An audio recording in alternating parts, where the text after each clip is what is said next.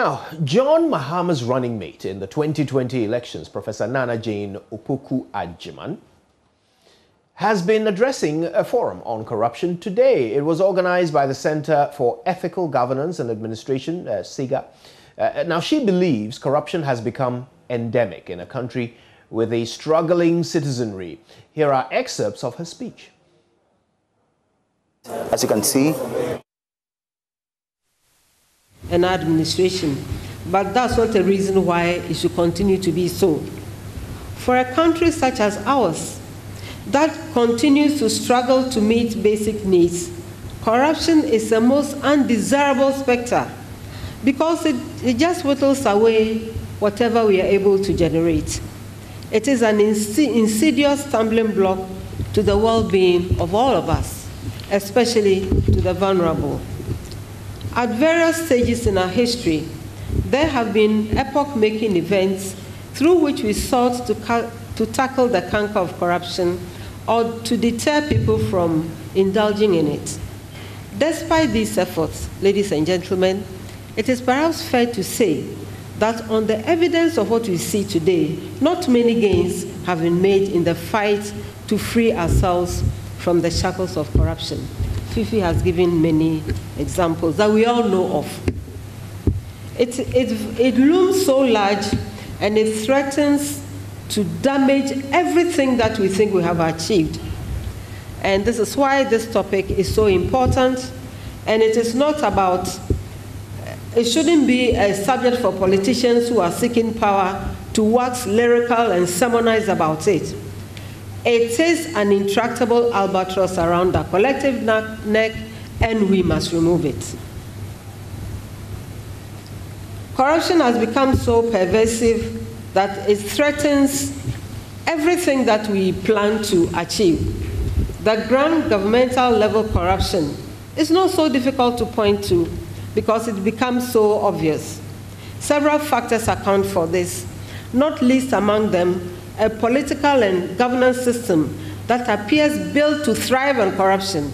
And I'm glad about the references you made in law about proving and so on. It's as if it is something that we are just guarding jealously, lest it will break. This is something we must get rid of. And if it is a law that must be changed to change the perception of even the people we train, then so be it. So this is something that perhaps uh, must inform the review of courses in some of our institutions.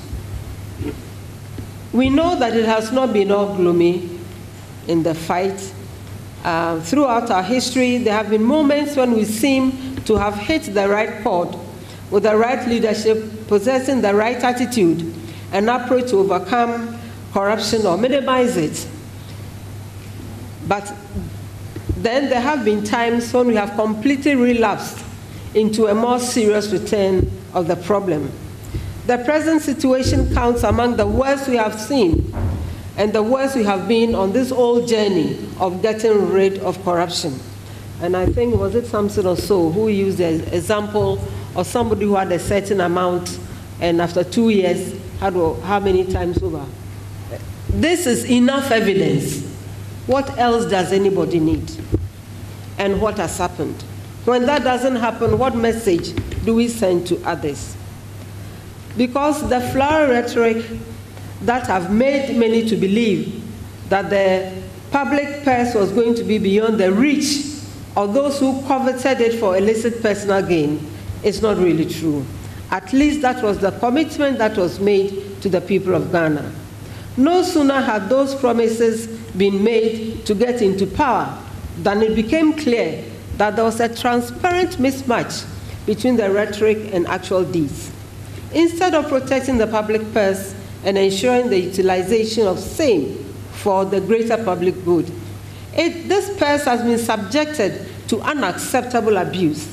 So all these things, issues of corruption, have come in thick and fast, depriving us of the, of the minimum things that we even need to, to work with it is one thing that government officials engage in corruption and get away with it because of weak accountability systems.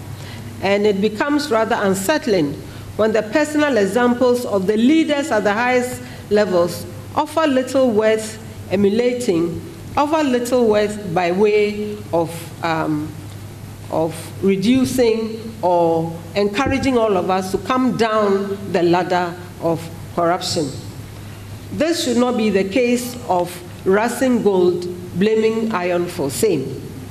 If at the highest levels of leadership, nepotism is seen or deemed to be acceptable, the misuse of the very scarce public resources become routine. How do those serving at the pleasure of leadership feel deterred from taking part in the scramble for what should have been our national resources? To fight corruption I mean, effectively, leaders must lead by example. Leaders must be able to crack the whip when necessary. Being difficult cannot be an excuse.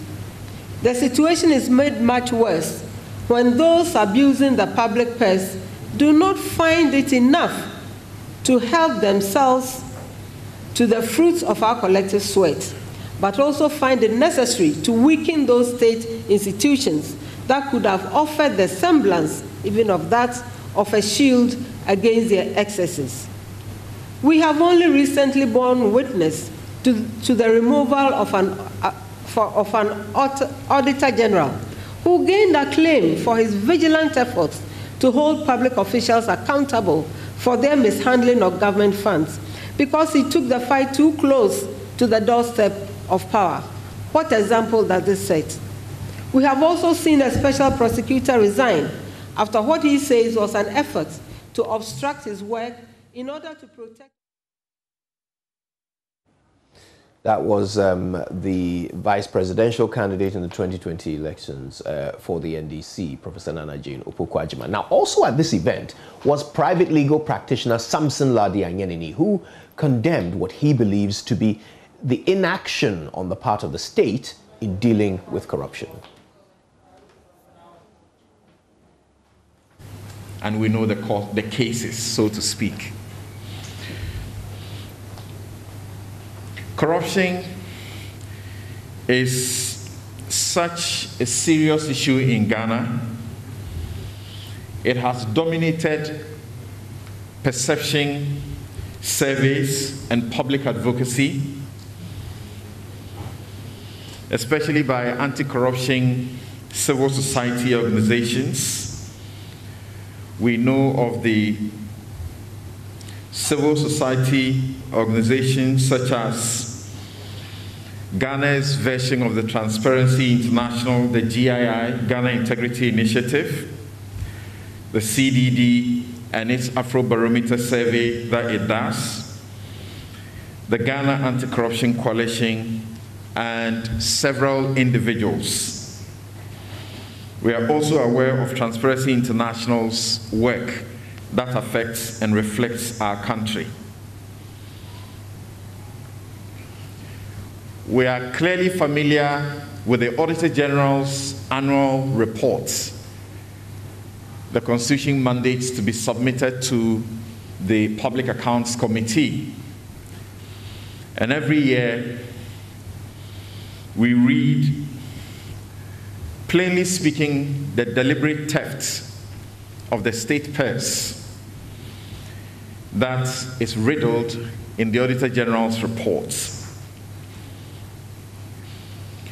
Very unfortunately, through the fight by Occupy Ghana, the Supreme Court empowered the Auditor General to be able to surcharge and disallow when these misfeasance happen. The one Auditor General who was lucky to come into office at a time when this legal victory was won and who started to implement it fiercely has been sacrificed. The current Auditor General, unfortunately, is disinterested in the power, the awesome power of surcharge and disallowance that has been handed him by law and by the confirmation of the Supreme Court. The reason I decide to emphasize that at the start is that we need to look for the solutions. Because it would appear that even the constitutional and statutorily enshrined solutions are failing us.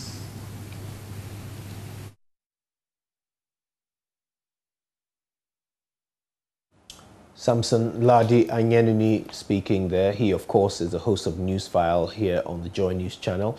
He's also um, the 2020 um, Journalist of the Year.